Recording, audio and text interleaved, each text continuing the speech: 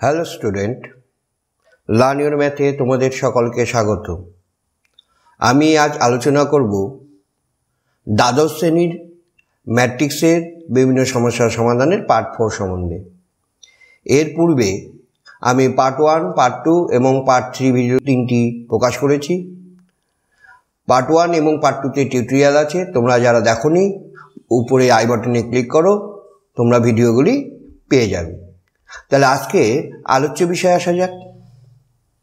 প্রথম যে সমস্যাটি আছে, এ সমান সমান i minus i minus i i, এটা হচ্ছে এ ম্যাট্রিক্স, আর বি ম্যাট্রিক্সটা আছে one minus one minus one one. আমাদের প্রমাণ করে দেখাতে হবে A two the power eight সমান সমান একশো আঠাশ বি।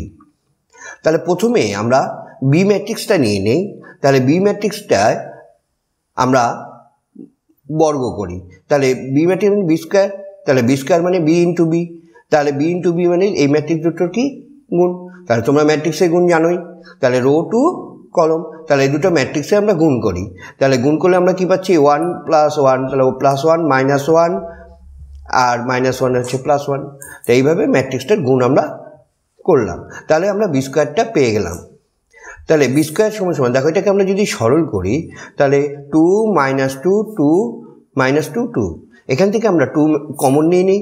তাহলে টু কমন নিলে, দেখো আবার বি ম্যাট্রিক্সটা পেয়ে যাচ্ছি। তাহলে বি স্কোয়ারের বদলে আমরা লিখতে পারি কি? টু বি তাহলে বি স্কোয়ার সমান সমান টু বি এটা আমরা প্রমাণ করে রেখে দিলাম। এখন আমরা এ ম্যাট্রিক্সটা নেই।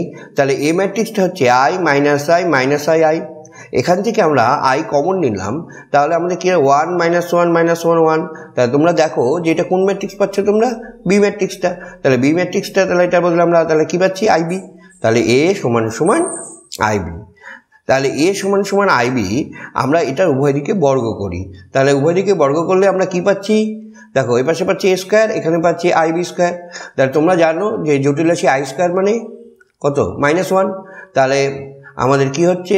এ স্কোয়ার সমান সমান মাইনাস বি স্কোয়ার যেহেতু আই স্কোয়ারের মান মাইনাস ওয়ান ঠিক, তাহলে এটাকে আবার স্কোয়ার করছি স্কোয়ার স্কোয়ার আর এখানে মাইনাস বি এর স্কোয়ার তাহলে দেখো, এই বি স্কোয়ারের জায়গায় আমরা টু বি বসিয়ে দিতে পারি। তাহলে বি স্কোয়ার জায়গায় আমরা টু বি বসিয়ে দিলাম, তাহলে মাইনাস টু বি তাহলে মাইনাস টু বি স্কোয়ার কী হবে?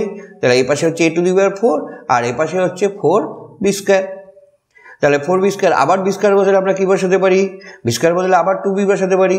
তাহলে A two the power four সমান সমান এইট বি এবার এটাকে আবার যদি আমরা বর্গ করি, তাহলে এটাকে বর্গ করলে এ স্কোয়ার ফোর আর এখানে হচ্ছে এইট বি স্কোয়ার তাহলে এ টু দি পাওয়ার মানে A to the power eight R eight B square মানে হচ্ছে চৌষট্টি বি স্কোয়ার এই বি স্কোয়ারের জায়গায় আবার আমরা কী বসাতে পারি?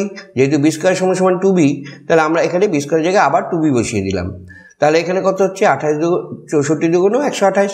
তাহলে A two the power eight সমান সমান একশো আঠাশ বি দেখো, তাহলে এটা বর্গ করে করে তোমাদের মানটা বের করতে হবে প্রতি ক্ষেত্রে বিস্কারের জায়গায় টু বিটা বসিয়ে দিবে। বুঝতে পেরেছি সমস্যাটি? তাহলে আমরা দুই নম্বর সমস্যাটার দিকে যাই। দুই নম্বর সমস্যাটি বলছে এ একটা ম্যাট্রিক্স বি একটা ম্যাট্রিক্স আমাদের এ বি ইনভার্স বের করতে বলছে। তাহলে প্রথমে আমরা বি ইনভার্স ম্যাট্রিক্সটা বের করে নিই। তাহলে বি ইনভার্স বের করতে গেলে তোমরা জানো যে আগে ডিটারমিনেন্ট অফ বি বের করতে হবে। তাহলে বি সমান সমান এটা, তাহলে ডিটারমিনেন্ট অফ বি কত? তাহলে এটাকে ডিটারমিনেট করে নিয়ে এটার মান বের করি, তাহলে one plus tan square theta by two তাহলে ডিটারমিনেন্ট অফ বি হচ্ছে one plus tan square theta by two তাহলে এটা নট ইকুয়াল জিরো তাহলে এটা নট ইকুয়াল টু জিরো মানে বি ইনভার্স সঙ্গত হবে। তাহলে বি ইনভার্সটা আমরা বের করতে পারি। তাহলে বি ইনভার্স সমান সমান কী হবে? বি ইনভার্স হবে, তোমরা জানো determinant of A by adjoint adjoint of A by determinant of A তাহলে অ্যাডজয়েন্ট অফ এ তাহলে অ্যাডজয়েন্ট দ্বিতীয় ক্রমে অ্যাডজয়েন্ট কী করে বের করে? মুখ্য কর্ণের স্থান পরিবর্তন এবং গৌণ কর্ণের চিহ্ন পরিবর্তন। তাহলে এটার অ্যাডজয়েন্ট আমরা বের করে নিই বি ম্যাট্রিক্সটার তাহলে দেখ, দেখতেই পাচ্ছ যে ওয়ান ওয়ানের স্থান পরিবর্তন করলে কি হয়? ওয়ানই হয়। আর এটা প্লাস আছে, এটা হয়ে গেল মাইনাস আর এটা মাইনাস আছে, হয়ে গেল প্লাস আর বাই ডিটারমিনেন্ট অফ এ ডিটারমিনেন্টের মানটা কত বের করেছি? One plus tan square theta by two তাহলে one by one plus tan square theta by two বুঝতে পেরেছে সমস্যাটি? তাহলে এইখানে আমাদের কী দাঁড়াল? One by one plus tan square theta by two এটা এটা। এবার এটাকে আমরা যদি সরল করি, তাহলে সরল করলে আমাদের কী হচ্ছে মানটা? এবার আমরা এ আর বি ইনভার্স এখানে গুণ করতে বলছে, তাহলে এ গুণন বি ইনভার্স তাহলে এই দুটো ম্যাট্রিক্সের গুণ, তাহলে one by one plus tan square theta by থাকল। আচ্ছা এটা হচ্ছে এ ম্যাট্রিক্সটা এটা হচ্ছে বি ম্যাট্রিক্সটা তাহলে এই ম্যাট্রিক্স দুটো আমরা গুণ করব। তাহলে এখানে হচ্ছে কি তোমরা জানো ম্যাট্রিক্সের গুণের নিয়ম জানো? রো টু কলম। তাহলে ম্যাট্রিক্স দুটো আমরা গুণ করি। তাহলে গুণ করলে আমরা কী পাচ্ছি? One minus tan square theta by two এখানে minus tan theta by two minus tan theta by two এখানে tan theta by two plus tan theta by two one minus tan square theta by two এবার one plus tan square theta by two দিয়ে প্রত্যেককে আমরা ভাগ দিই তাহলে one minus tan square theta by two by one plus tan square theta by two এখানে যখন যোগ করলে কী দাঁড়াচ্ছে minus two tan theta by two one plus tan square theta by two দিয়ে ভাগ এটা কী দাঁড়াচ্ছে two tan theta by two one plus tan square theta by two এটাকে one minus tan square theta by টুকে ভাগ দিচ্ছি one plus tan square theta by two তাহলে এখন তোমরা জানো one minus tan square theta by two one plus tan এটার মান এর মান কত কস্তিটা তাহলে এটার মান cos theta R two tan theta by two one plus tan square theta by two মান কত সাইন থিটা তাহলে আমাদের কী দাঁড়াচ্ছে সল করলে? এটা হচ্ছে কস থিটা এটা মাইনাস আছে মাইনাস সাইন থিটা এটা হচ্ছে সাইন থিটা আর এটার মান হচ্ছে কস থিটা তাহলে cos theta minus sine theta আর সাইন থিটা কস থিটা তাহলে দেখো এটাই আমাদের প্রমাণ করতে বলেছে। তাহলে আমাদের সমস্যাটি প্রমাণ হয়ে গেল। বুঝতে পেরেছি নিশ্চয়ই?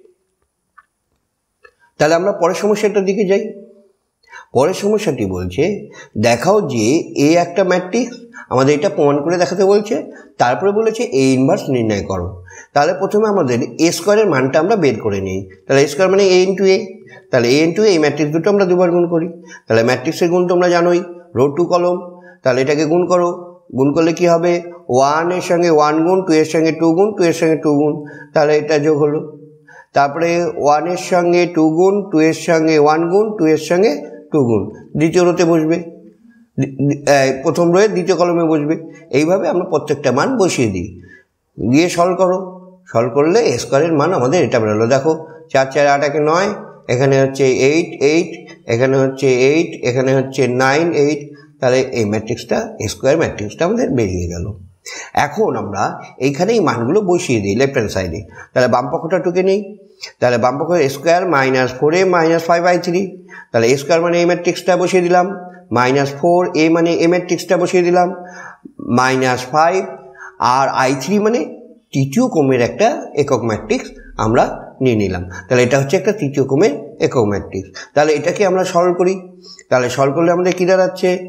দেখো, এখানে এ নাইন, এখানে চার দিয়ে গুণ করলে মাইনাস ফোর, এখানে মাইনাস ফাইভ। এটাতে হচ্ছে এইট, এখানে হচ্ছে মাইনাস এইট আর প্লাস জিরো তাহলে এগুলোকে সব সলভ করলে আমরা কি পাচ্ছি? একটা জিরো জিরো ম্যাট্রিক্স পাচ্ছি। তাহলে এটা একটা শূন্য ম্যাট্রিক্স তার মানে কি? জিরো ম্যাট্রিক্স তাহলে এটার মান হচ্ছে আমাদের জিরো তাহলে এটা থেকে আমরা প্রমাণ করে দিলাম। বলছে, তারপরে এই ইনভার্স নিয়ে করো। তাহলে তারপরে ইনভার্স মানে আমাদের এই সত্যটা থেকেই এই ইনভার্সের মানটা বের করতে হবে। তাহলে এই সত্যটা থেকে ইনভার্সের তাহলে আমাদের কী সত্যটা আছে? A square minus four minus five I three সমান জিরো আমরা আই থ্রিটাকে ডান দিকে নিয়ে চলে যাই। তাহলে কি হবে আমাদের? আর এই দুটো থেকে আমরা এ কমন নিচ্ছি। তাহলে এ কমন নিলে এখানে কি পড়ে থাকছে? এ মাইনাস এখান থেকে চলে গেলে ফোর পড়ে থাকছে। আর এখানে কিছু পড়ে থাকলে এক মানে একটা একক ম্যাট্রিক্স আমাদের বসবে আই এখন এটাকে যদি আমরা পাঁচ দিয়ে ভাগ করি, তাহলে কি হবে? A one by five A two four I সমান সমান আই থ্রি তোমরা ইনভার্সের ধর্মে জানো যে এ এ ইনভার্স সমান সমান কী হয়? আই হয়। তাহলে দেখো, এটা এ যদি হয়, তাহলে নিশ্চয়ই এটা ইনভার্স কারণ এটা সমান সমান দুটো মানের গুণফল। কী আছে? আই তাহলে এটা যদি এ হয়, তাহলে এটা ইনভার্স তাহলে এ ইনভার্স সমান সমান আমাদের কী হচ্ছে? One by five A minus four হয় তাহলে এখানে এ আর আয়ের মানটা আমরা বসিয়ে দিই। তাহলে এর ওয়ান বাই ফাইভ এর মানটা কত? One two two two one two two two one বসিয়ে দিলাম। মাইনাস ফোর আই মানে একক ম্যাট্রিক্স তৃতীয় কমের একটা একক ম্যাট্রিক্স আমরা বসিয়ে দিলাম। তাহলে এটাকে সলভ করো। তাহলে সলভ করলে আমাদের কী দাঁড়াচ্ছে? এটা দাঁড়াচ্ছে। দেখো ওয়ান মাইনাস ফোর টু এখান থেকে টু এখান থেকে টু মাইনাস জিরো মানে টু ওয়ান মাইনাস ফোর এটাকে সলভ করি। তাহলে সলভ করলে আমাদের দাঁড়াচ্ছে এই ম্যাট্রিক্সটা তাহলে এটাই হচ্ছে ইনভার্সের মান। তাহলে আমরা ওখান থেকে ইনভার্সের মানটা বের করে নিতে পারলাম আচ্ছা যখনই তারপর বলবে যে সত্যটা থাকবে, সেই সত্যটা থেকে তোমাদের এই ইনভার্সটা বের করতে হবে। বুঝতে পেরেছ সমস্যাটি?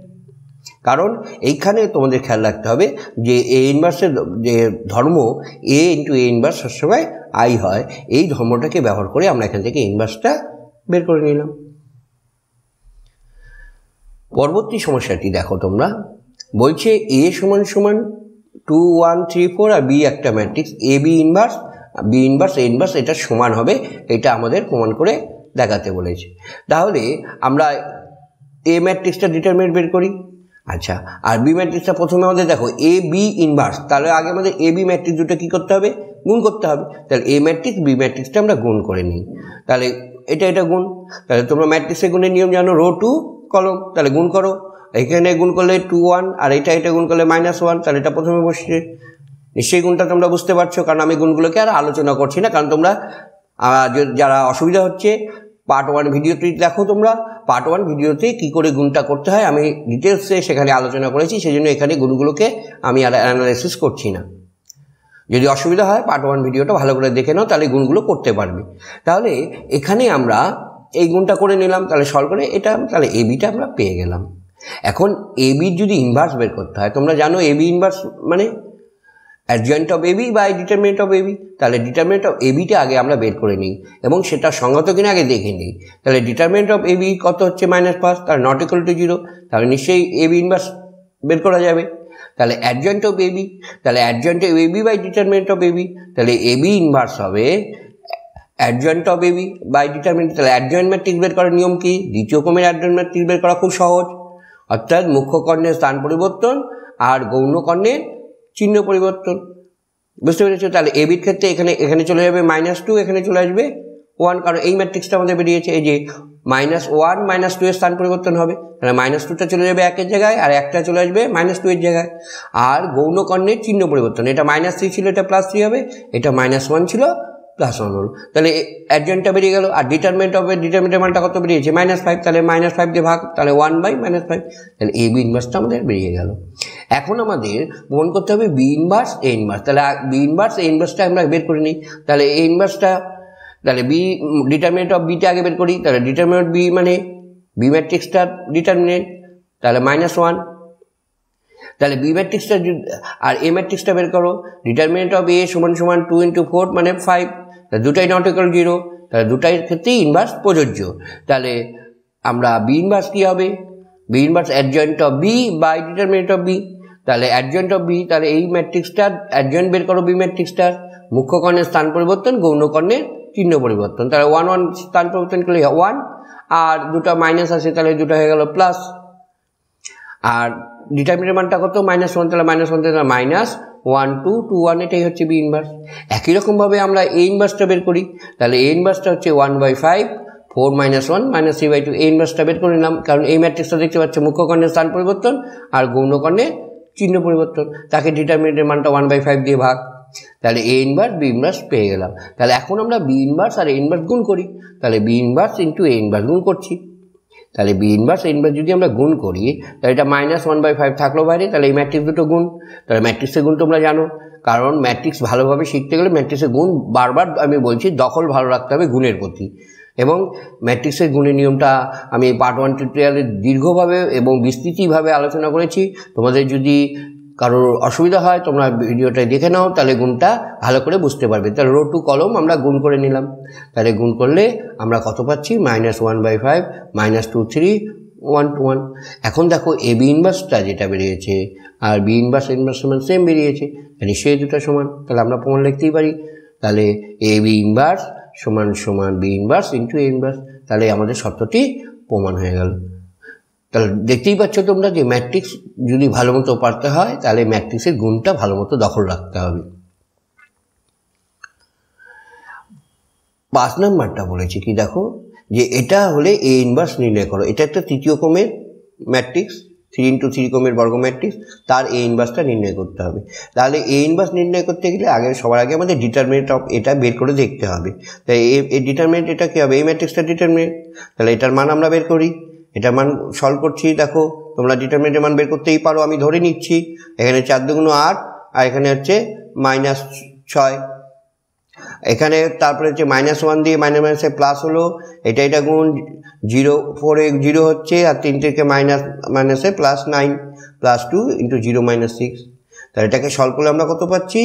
মাইনাস ওয়ান তাহলে এ ম্যাট্রিক্সটা ডিটারমিনেন্টের মান হচ্ছে মাইনাস ওয়ান তাহলে নট ইকুয়াল জিরো তার মানে আমরা এ ইনভার্স বের করতে পারব। কারণ এই ম্যাট্রিক্সটা যদি নন সিঙ্গুলার না হয়, তাহলে এ ইনভার্স নির্ণয় করা সম্ভব নয়। তাহলে আমরা দেখতে পাচ্ছি যে ডিটারমিনেন্টের মান যখন মাইনাস ওয়ান তাহলে এটা নন সিঙ্গুলার ম্যাট্রিক্স তাহলে নন সিঙ্গুলার ম্যাট্রিক্স হলে আমরা এটা এ ইনভার্স নির্ণয় করতে পারব।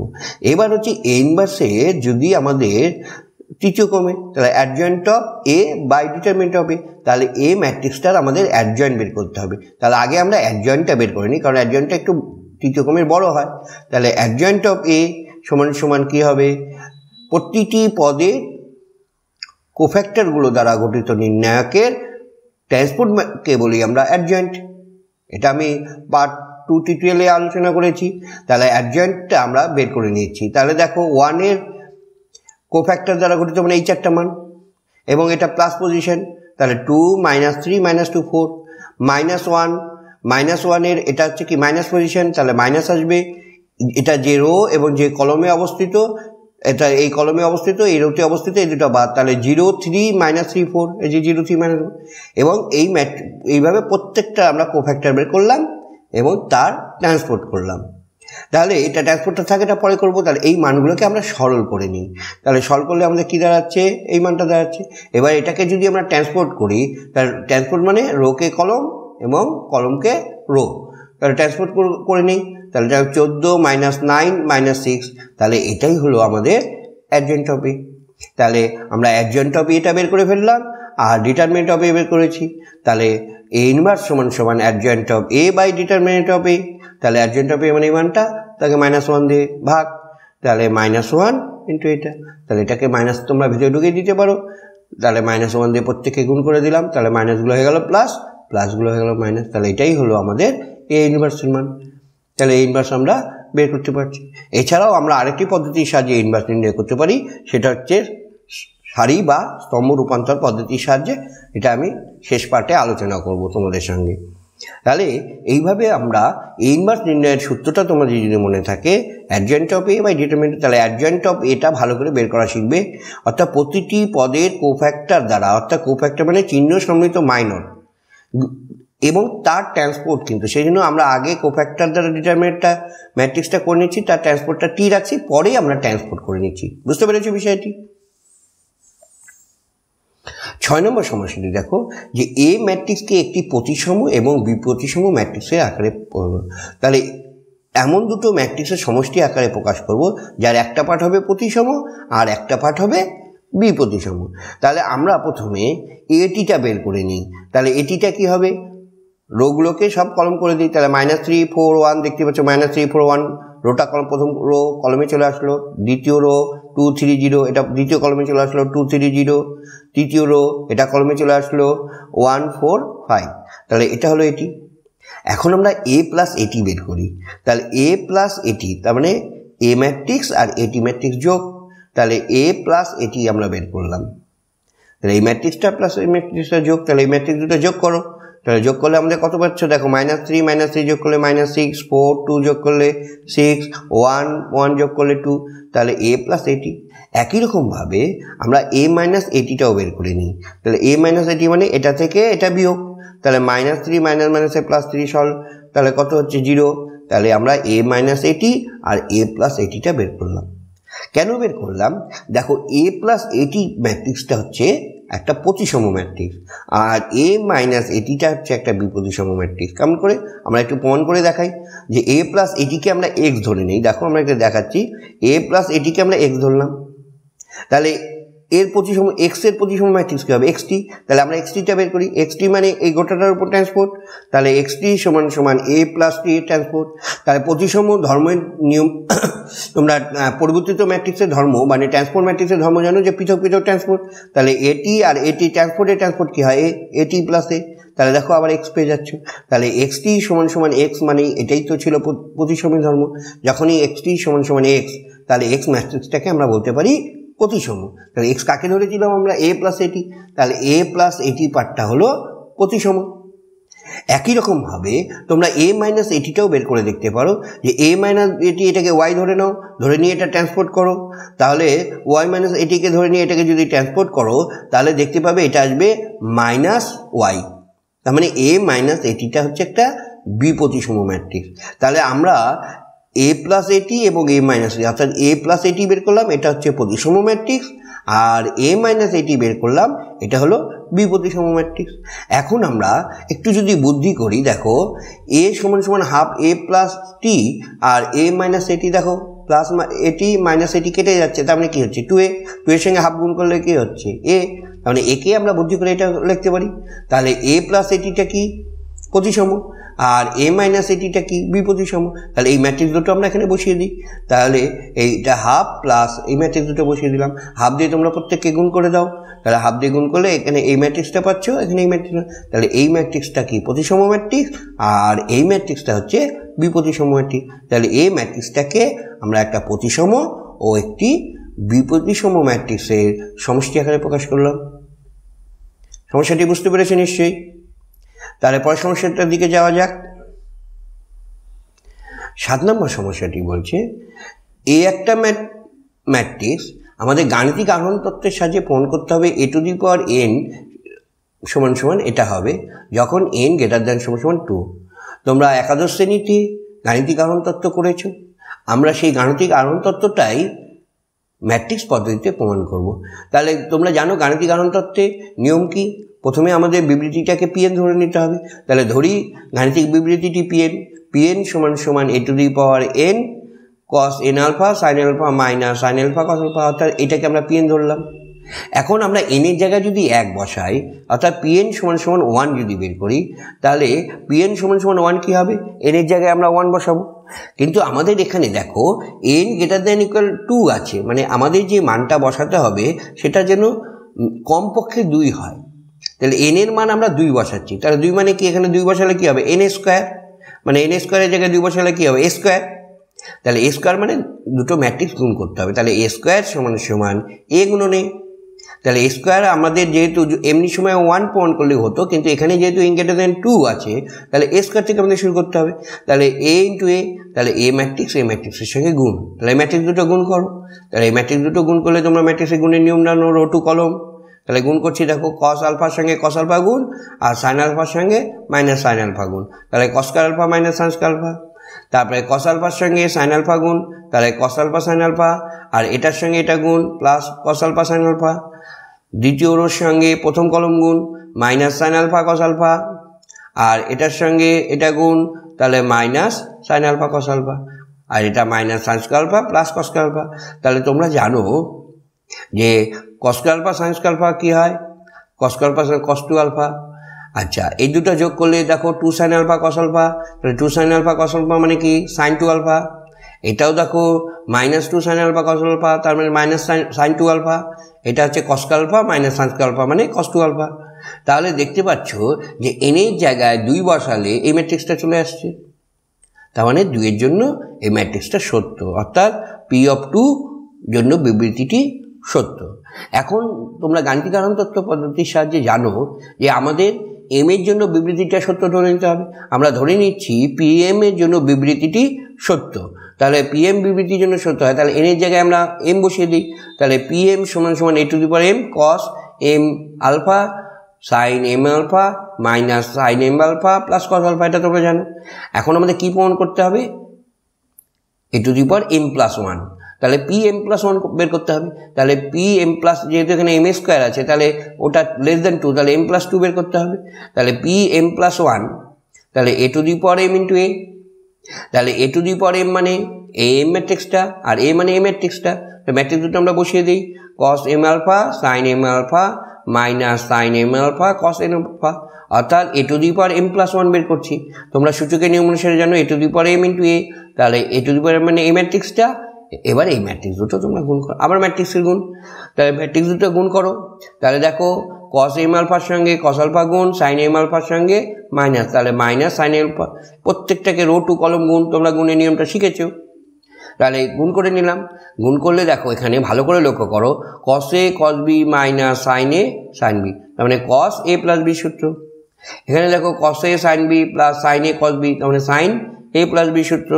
তাহলে এখান থেকে আমরা আলফাটা যদি কমন নিই, তাহলে cos M plus one alpha এখানে sine M plus one alpha এখানে minus sine M plus one alpha cos তাহলে দেখো এনের জায়গায় চলে এসছে কি এম প্লাস ওয়ান তাহলে এম প্লাস ওয়ানের জায়গায় যদি এম প্লাস ওয়ান তাহলে এম প্লাস ওয়ানের জন্য বিবৃতিটি সত্য? কখন? যখন পিএম সত্য। তাহলে পিএম সত্য হলে পি এম প্লাস ওয়ান সত্য। তাহলে পি অফ টু সত্য আমরা দেখেছি। তাহলে পি অফ টু সত্য পি এম যখন সত্য হচ্ছে পি এম প্লাস ওয়ান সত্য। তাহলে আমরা গাণিতিক আরণ তত্ত্ব বলতে পারি যে পি এন সত্য যখন N greater than equal to তাহলে গাণিতিক আহরণ তত্ত্বের সাহায্যে আমরা প্রমাণ করে দিলাম। তাহলে একাদশ শ্রেণি গাণিতিক আহরণ তত্ত্ব আর ক্লাস টুয়েলভের ম্যাট্রিক্সের গুণ, এই দুটোর দখল থাকলেই এটা কোনো করা কোনো ব্যাপারই না।